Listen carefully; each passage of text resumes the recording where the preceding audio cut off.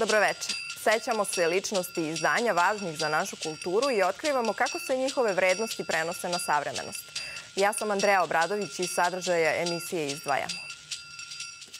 Stogodišnica rođenja Dejana Medakovića obeležena je u Domu vojske. Koncert slovenačke grupe Lajbah u MTS dvorani. Otvorena izložba povodom obeležavanja 65 godina od osnivanja Univerziteta umetnosti u Beogradu. Povodom otvaranja izložbe Manasir Gračanica, sjaj umetnosti u doba kralja Milutina u galeriji Sanu, gost je njen autor Aleksandra Davidov Temerinski. Povodom obeležavanja stogodišnjice rođenja Dejana Medakovića u Domu vojske predstavljena su njegova dela.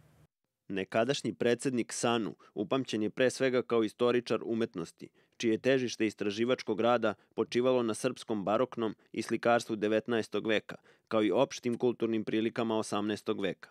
Jedna od najkapitalnijih pojava uopšte u srpskoj kulturi je Dejan Medaković. O njemu se još ne može do kraja pouzdano sve reći, u onom najboljem smislu te reči, jer njegovo delo tako plovi kao okean.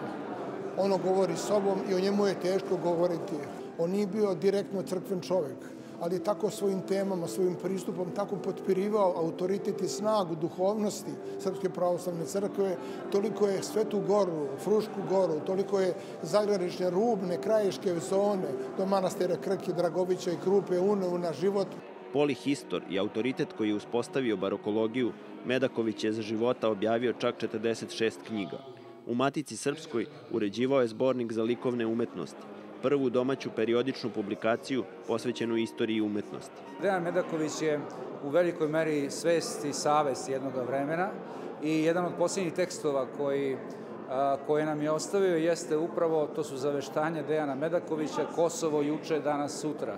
Dakle, kako Kosovo i Metohija kao naše duhovno imanje, kao duhovno bivstvo postaju neizbrisiv deo i ostaju neizbrisiv deo našeg našeg naciona. Neizostavno je nagrađivano i veoma čitano prozno petoknjižje Efemeris, hronika jedne porodice, dragoceni tekstualni spomenik nekadašnjoj građanskoj i intelektualnoj eliti zagrebačkih Srba. Kultni slovenački sastav Lajbah posle tri godine nastupio je ponovo pred beogradskom publikom na istom mestu, u MTS dvorani.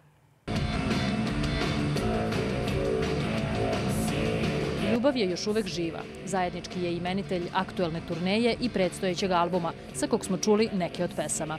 Reč je o country, dance i elektronskom zvučnom putovanju, sačinjenom od različitih verzija pesme Ljubav je još uvek živa, koju je Lajbah 2012. snimio za film Gvozdeno nebo.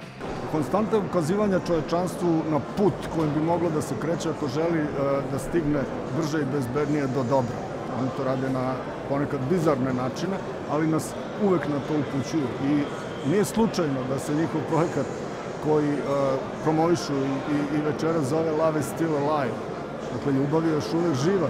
Izabrali su mračan trenutak uh, savremene istorije da nam se obrate. Lajbah je bend koji često menja sastav, ali koji nikada ne menja svoju suštinu. Kroz atraktivno osmišljene nastupe prezentuju angažovanu muziku, iskazujući svoj odnos prema savremenom svetu. Lajbah čine ljudi koji su očigledno inteligentni, duhoviti i sposobni da smisle dovršen koncept. Dakle, ne da se služe metodom naslučivanja, kao što rade mnogi koji sebe nazivaju umetnicima ili deluju u sferi umetnosti, nego da, da to zaista urade. Album Ljubav je još uvek živa biće objavljen u januaru, za kada su najavili još jedno izdanje na kom će u novom svetlu predstaviti odabrana stara izdanja. Novi broj časopisa Nova misao sutra će u 12 časova u Narodnoj biblioteci Srbije predstaviti dr. Vladimir Pištalo, glavni i odgovorni urednik časopisa Nenad Šaponja, Žaklina Duvnjak-Radić, Andrej Radulović i Gala Čaki. U Matici Srpskoj u Novom Sadu uručena je nagrada Beskrajni plavi krug ovogodišnjem dobitniku Goranu Petroviću za roman Ikonostas. U okviru programa Dani Miloša Crnjanskog u Matici Srpskoj priređena je svečana dodela nagrade Beskrajni plavi krug, koja se od 2019. godine pod krovom te najstarije književne, kulturne i naučne institucije kod nas dodeljuje za najbolji roman napisan na srpskom jeziku.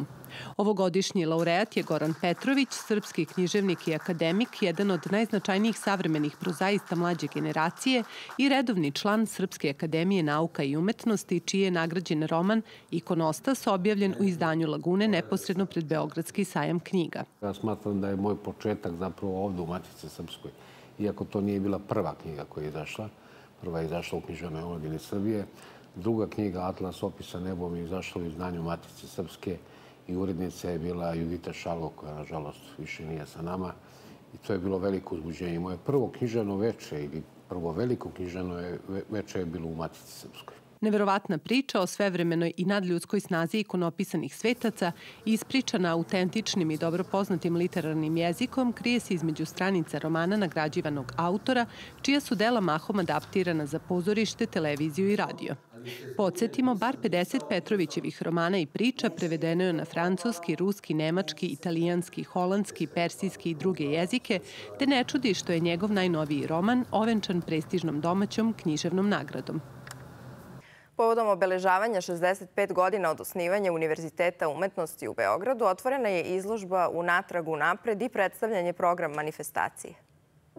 1957. godine četiri Beogradske umetničke akademije udružile su se u Univerzitet umetnosti u Beogradu. 65 godina su godine kada se ide u penziju, a naš univerzitet ovo tretira kao svoj neki novi početak, neku vrstu restarta. Restarta, naravno, ne počinjemo iz početka, baštinimo tradiciju koja je, što se tiče Univerziteta umetnosti, 65 godina, ali neki naš, naši fakulteti su i stariji od tih 65 godina, kao na primjer Fakultet muzičke umetnosti i Fakultet likovnih umetnosti koji ba, imaju tradiciju od 1937. godine. Ovu godišnjicu proslavljaju radno. U zgradi rektorata otvorena je izložba u natragu napred, kao omaž postignućima i vizualnom identitetu univerziteta kroz godine. Naziv u natragu napred osmišljen je baš zato kako bi se prikazao dijalog između prošlosti, sadašnjosti i budućnosti i to ne samo na osnovu ovih fotografija, nego i vizualnog jezika grafičkih komunikacija koje je postavio, odnosno autor vizualnog identiteta Univerziteta umetnosti i svih njegovih fakulteta, profesor Miloš Ćirić. Na prvobitni logo profesora Ćirića iz 1980. godine dodata su još dva lista sa strelicama unapred i unatrag. Ta kompozicija kroz vizuelnu igru približava život Univerziteta umetnosti, istovremeno ukazujući na buduće puteve njegovog razvoja.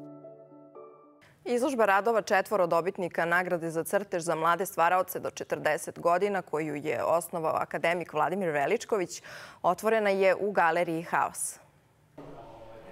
Nagrada koju je osnovao akademik i slikar zajedno sa galerijom Haos nastavlja da čuva sećanje na Vladimira Veličkovića, ali predstavlja i podstrek mladim stvaraocima koji se bave crtežom.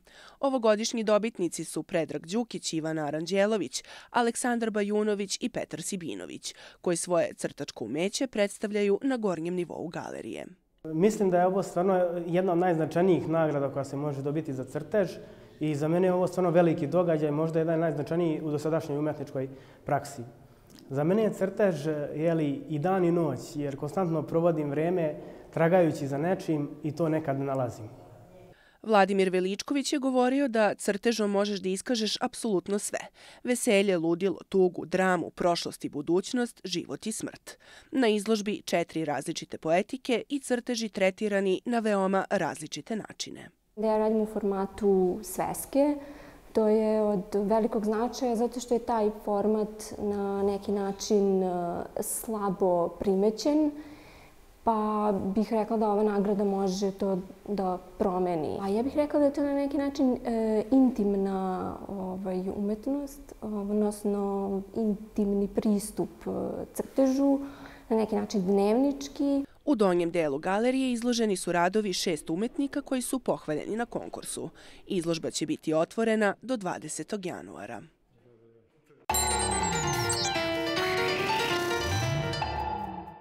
Premijera nove postavke baleta Krcko-Oraščić Čajkovskog, koji je prvi put izveden u Sankt Peterburgu 1892. godine, nedavno je održana u Kraljevskoj operskoj kući u Londonu. Kraljevski balet je izvođenjem Krcka Oraščića opčinio publiku i predstavio pravu poslasticu pred božićne praznike za sve ljubitelje baleta. Ta predstava je za mnoge baletske trupe često na repertoaru za praznike. U nastavnu ulozi je balerina Fumika Neko. Moja uloga je jedna od najtežih za balerine. Svaki put kad joj se vraćam, ja sam pred velikim izazovom, ali tu je i mnogo zabave zbog zadivljujuće muzike što me uvek podstiče da idem dalje. U baletu učestvuje sto plesača i muzičara koji scenu pretvaraju u zimsku zemlju čuda, gde glavni lik Klara otvara poklon za divljujuću igračku Krackoračić. Sa njom putuje u nepoznate prostore. U glavnoj muškoj ulozi je William Bracewell. Mislim da je još veće zadovoljstvo jer znate da predstavu gleda više ljudi nego obično zbog praznika. Inače, čim Fumi i ja stupimo na scenu i počnemo da plešemo, osetimo lakšanje. Ona je zadivljujući partner. Imali smo odlične probe sa Darcy Basel. Posle dve božićne sezone kada nije izvođen zbog koronavirusa ove godine, ponovo na sceni. To je pozdravio direktor baleta Kevin O'Hara. Ove godine izvođenje je posebno jer smo se vratili načinu kako balet treba da izgleda. U protekle dve godine smo morali da menjamo produkciju da bismo bili u skladu sa COVID merama. Drago mi je što je ovo izvođenje originalno. To je balet u dva čina za koji su originalnu koreografiju radili Marius Petipa i Lev Ivanov, a muziku Petar Ilji Čajkovski. Libreto je zasnovan na Hoffmanovoj priči Krckorašić i kraj Miševa. Premijerno je izveden u decembru 1892. godine u Marinskom teatru u Sankt Peterburgu.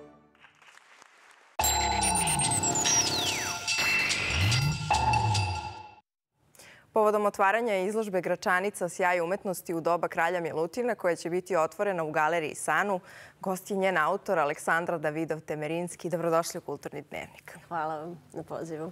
Konzervacija i restauracija su trajale godinama, završene su prošle godine povodom obeležavanja 700 godina Gračanice. Šta sve obuhvata izložba? Izložba obuhvata pre svega, moram da kažem da budući da naravno reč je o crkvi koja je oslikana, dakle mi smo mogli samo posredno da je prikažemo. To znači da su u pitanju printovi digitalne fotografije koje prikazuju arhitekturu i slikarstvo Gračanice i to ono iz vremena kralja Milutina, dok je dozidana spoljna priprata prikazana znatno svedenije. Da bi omogućili posetiocima da steknu malo dublju sliku o tome šta je trodimenzionalna gračanica, mi smo se poslužili e, tehnologijom, odnosno multimedijalnim e, prezentacijama koje prikazuju arhitekturu, zatim slikarstvo unutar crkve, virtualna tura, i imamo jedan kratak film o konzervatorskim radovima koji su zapravo rad Republičkog zavoda koji je završen 2018. godine.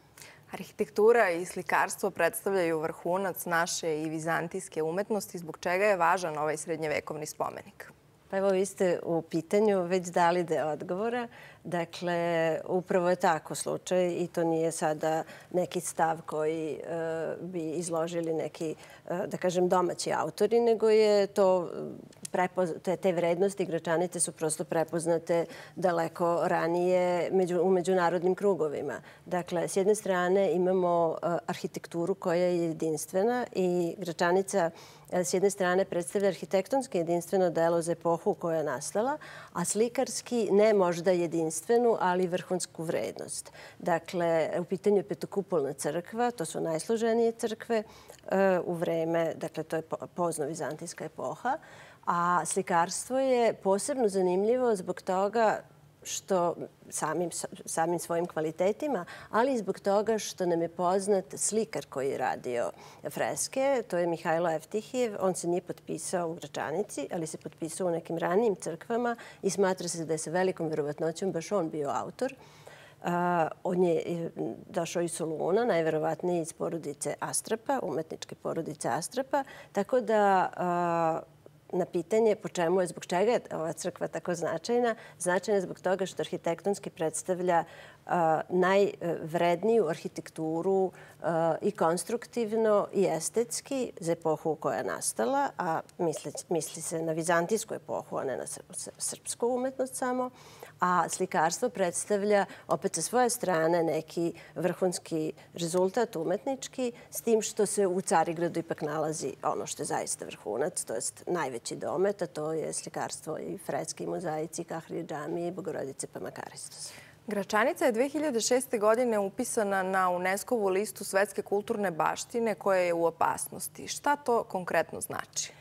Dakle, uh, UNESCO uh, kao međunarodna organizacija je pomogle radove između ostalog u Gračanici, ali ne samo u Gračanici i ova ostala tri spomenika koje se nalaze upisana na, listi svetske, na listu svetske baštine, kao i na listu baštine u opasnosti.